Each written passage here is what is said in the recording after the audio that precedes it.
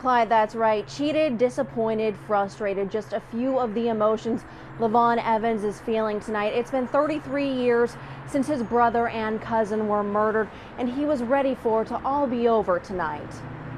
That's one of the last pictures you took right here. Lavon Evans is talking about his brother Dante before he was shot and killed by this man, Joseph Paul Franklin, on June 8th of 1980 at the age of 13. His cousin, 14-year-old Darrell Lane, was gunned down alongside him in Bond Hill. At 12:01 a.m. Central Time, 101 hour time, the 63-year-old serial killer was scheduled to be executed in Missouri for killing another man in a sniper attack outside a suburban St. Louis synagogue in 1977. But a federal judge in Missouri halted his execution over concern about a drug the state was going to use. I'm very, very disappointed. Very.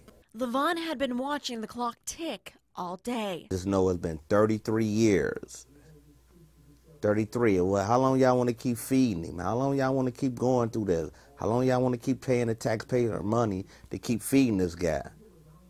It's time for him to go. Lavon is 40. He says his brother would be 47 if he were still here. His cousin would be 48. My big brother was everything that a big brother supposed to be.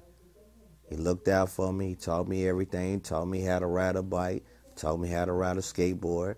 He taught me how to play basketball, taught me how to tumble. Now, Lavon and his family have to wait again. Here it go, Thanksgiving again. Coming around, my brother ain't here and all this, and open up bad wounds. You know what I mean? You open up wounds.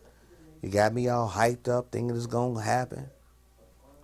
Here it is. You ain't. It ain't gonna happen again. Until Franklin is executed, Lavon says there will be no closure. When that time comes, he plans on being there to watch. Now, Franklin murdered 18 other people around the U.S. between 1977 and 1980, targeting blacks and Jews. Now, Judge Melissa Powers ultimately got Franklin to confess that he killed those two Cincinnati teens you just saw in the story. Now, we spoke with her tonight to get her response to this decision. She said, quote, Franklin got a break that he did not deserve. Amy Wadas, 9 on your side, live from Mount Adams.